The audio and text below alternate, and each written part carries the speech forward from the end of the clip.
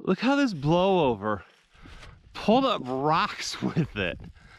Oh my God. Boulders, Jeff. Those are not rocks. Yeah. Unbelievable.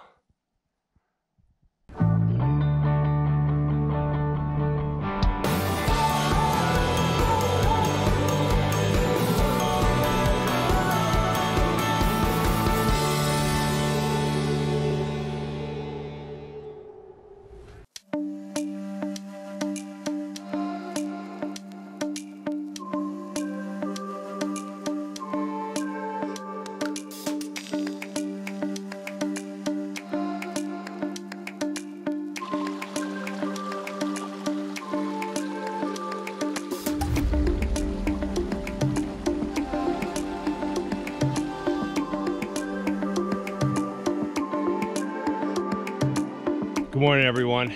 Morning. It is uh, Sunday, on Saturday.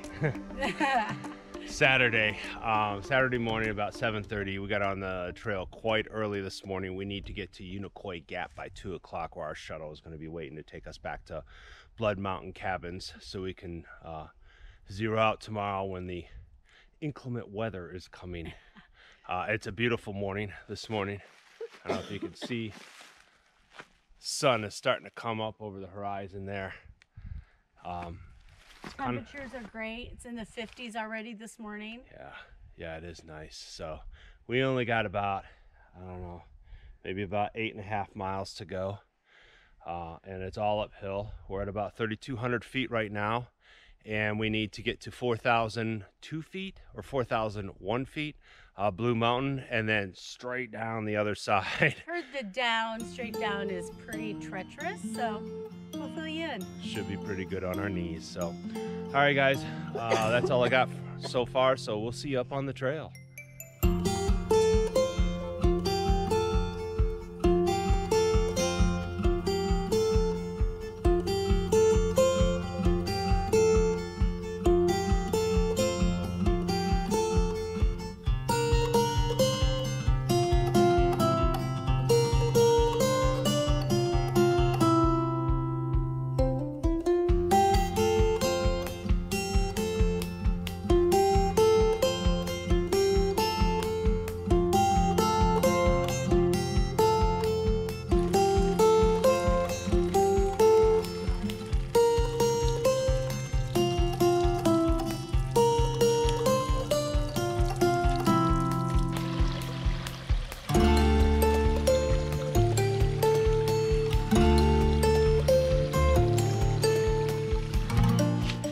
To share with you guys my favorite part on the trail is when you get to walk through these green azaleas, hollies.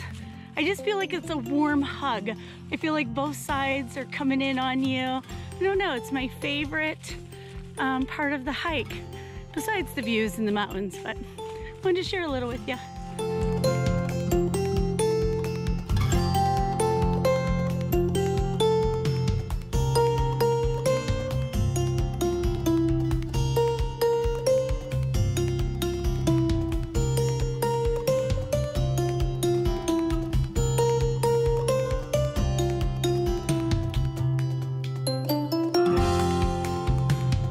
Feeling really groggy today. Didn't get much sleep last night. Had a coyote come into camp last night. Heard him howling off in the distance and then closer and closer. And he came in and I heard one of the kids in the hammock yell at him. And then I heard him run right in front of the shelter. I yelled at him. So I just basically laid awake there for like two hours waiting to see I slept right through yeah, yeah, Tracy slept right through it. Had no idea what was going on.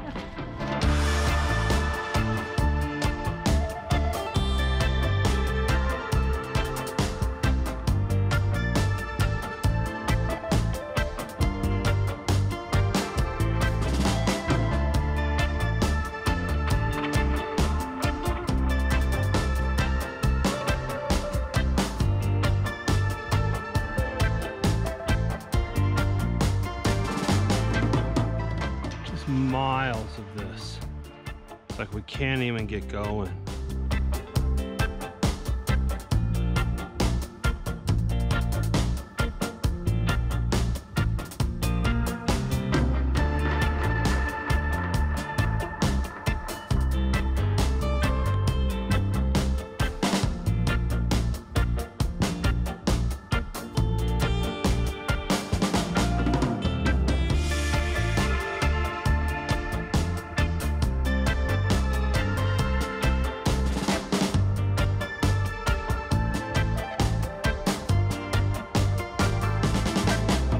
All right, here we are. I think it's called Blue Mountain, 4,002 feet. No view. Um, well, we have view today because there's no leaves on the trees, which makes it nice, but we made it to the top. Now we have to drop down 1,100 feet in one and a half miles. Might as well be climbing down a ladder.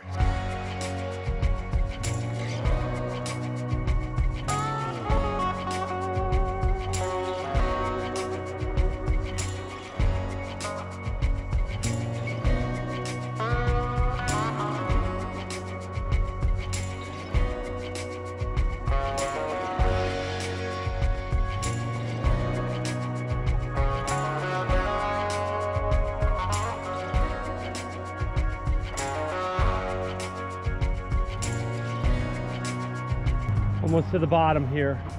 Parking lot just is up around the corner there. 9.6 miles today in uh, uh, about five hours. We hauled butt. Yeah, but this last, coming down this mountain was even harder than going up the other side. It was huge. It's steep, my knees are killing me, so. Let's get on over here. Our shuttle's gonna be here in about half hour. Good hike today though. Yeah, it was a good hike. So we'll see you guys in a little bit. Hey guys, what's up? It is day six. Uh, we are back at Blood Mountain Cabins.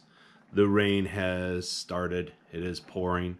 Uh, we're gonna do a zero tomorrow. We are sitting at uh, 61.3 miles so far. Um, we're trying to decide what we're gonna do because we're gonna have a little bit of problem getting to the border and getting out there's a, uh, a, road access there that's closed. It's very difficult to navigate, and there's a gate on it. So we'll figure that out tomorrow with shuttles and everything. I'll get back with you on that. So I think that's about it.